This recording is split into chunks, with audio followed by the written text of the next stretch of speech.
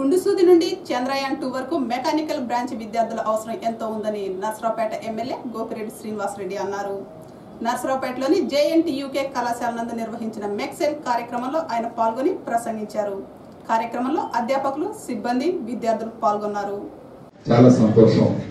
మరి మీరు చూస్తున్నారు క్యాంపస్ అంతా కూడా ఒక టెంపరీ క్యాంపస్ పర్మనెంట్ క్యాంపస్. వెళ్ళాల్సి ఉంది. కానీ కొన్ని కారణాల వలన గత ఐదు సంవత్సరాల్లో పూర్తి చేసుకోలేకపోయాం. ఖచ్చితంగా ఇప్పుడు ఆ క్యాంపస్కి షిఫ్ట్ చేసుకోవాలని చెప్పి మేము యుద్ధ ప్రాతిపదిక మీద ప్రయత్నాలు చేస్తూ ఉన్నాం. తప్పకుండా probably within two years ఒక మంచి ఆడిటోరియంలో ఇలాంటి కార్యక్రమాన్ని కండక్ట్ చేసుకుంటామని చెప్పి చెప్పడానికి చాలా సంతోషంగా ఉంది. మన ఎడ్యుకేషన్ మినిస్టర్ గారు కూడా వచ్చారు.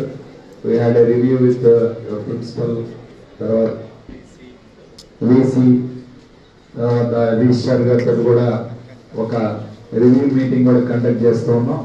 త్వరలోనే అప్రూవల్ తీసుకొని టెంపరీ షెడ్స్ అయినా పర్వాలేదు ముందు క్యాంపస్కి వెళ్ళిపోదాం అని చెప్పి మరి మినిస్టర్ గారు సజెస్ట్ చేయడం జరిగింది. తప్పకుండా క్యాంపస్కి వెళ్తాం. అదేవిధంగా మెకానికల్ బ్రాంచ్ గురించి సుష్మా గారు చక్కగా చెప్పారు. ఈరోజు మీరు అందరూ మెకానికల్ బ్రాంచ్ స్టూడెంట్స్ అందరూ ఉన్నారు ఇక్కడ. ఒక గుండు సూడి దగ్గర నుంచి చంద్రయాన్ టూ వరకు మెకానికల్ ఇంజనీర్ ప్రతి చోట కూడా అవసరం.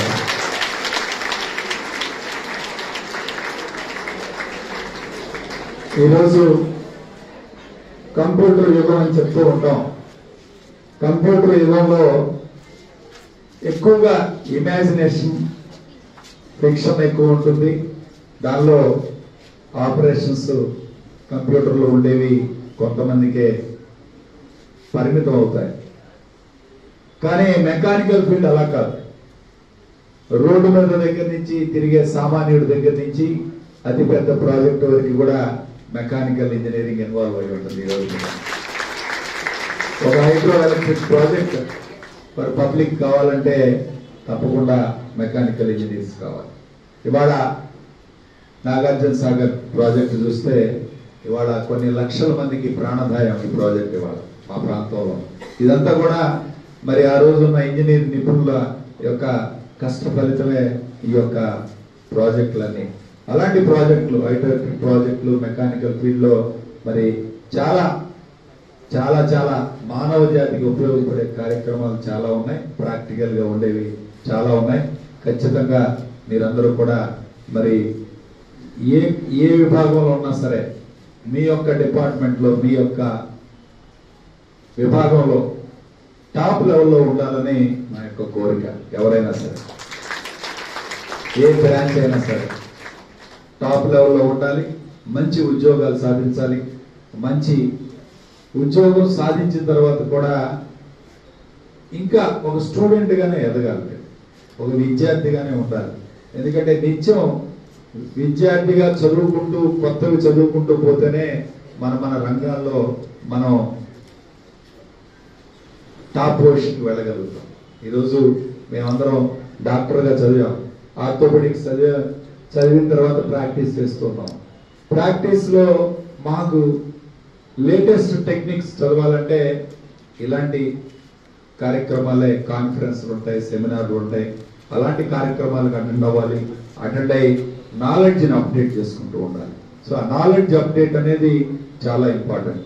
అలాంటివే ఈరోజు మీకు ఈ ఫెస్ట్లు కానీ సెమినార్లు కానీ ఇవన్నీ కండక్ట్ చేస్తున్నాం. దయచేసి కొంతమందికి స్టేజ్ ఫీర్ ఉండొచ్చు. కొంతమంది యాక్టివ్గా పార్టిసిపేట్ చేయకపోవచ్చు ఈ స్టేజ్లో. కానీ తర్వాత మీ జీవితంలో రిపెంట్ అవుతారు. ఈ కార్యక్రమంలో మనం యాక్టివ్గా పార్టిసిపేట్ చేయలేము. ఆ అవకాశం అప్పుడు రాదు.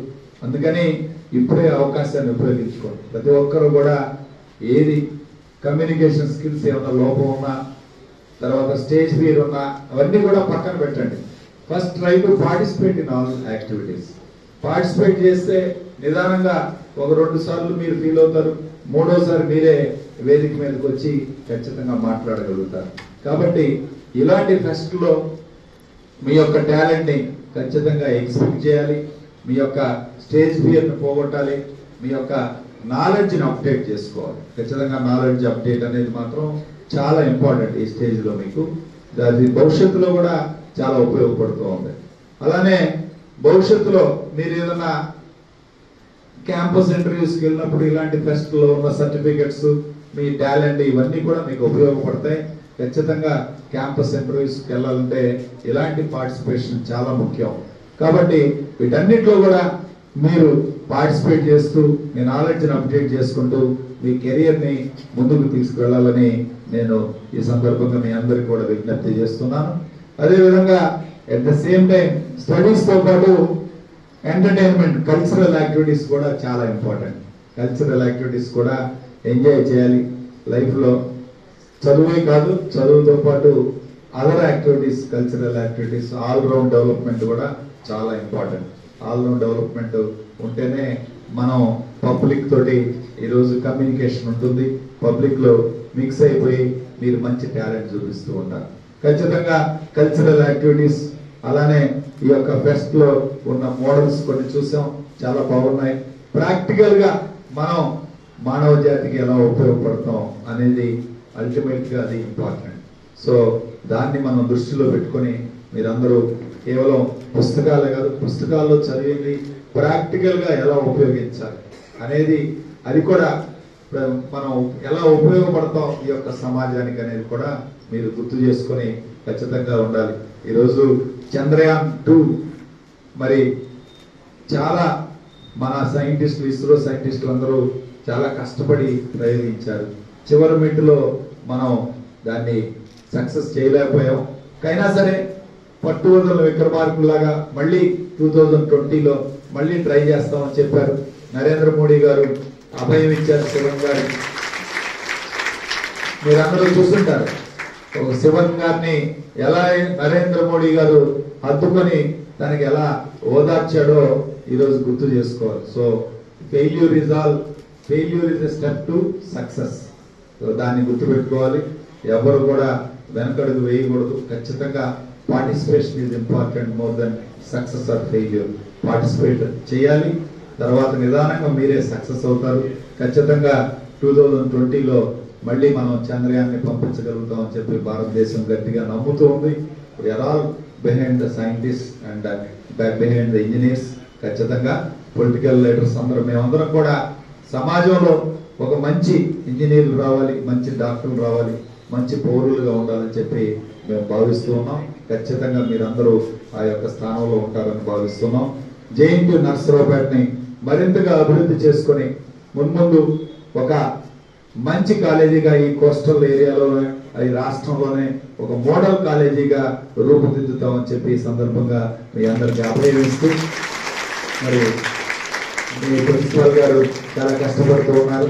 అదేవిధంగా సుష్మా గారు అదేవిధంగా ఇక్కడ స్టాఫ్ అందరూ కూడా పాపం చాలా కష్టపడుతున్నారు. ఎన్ని ఇబ్బందులు ఉన్నా సరే వాళ్ళంతా కష్టపడి పనిచేస్తున్నారు. వాళ్ళందరికీ కూడా నా యొక్క ధన్యవాదాలు తెలుపుతూ సెలవు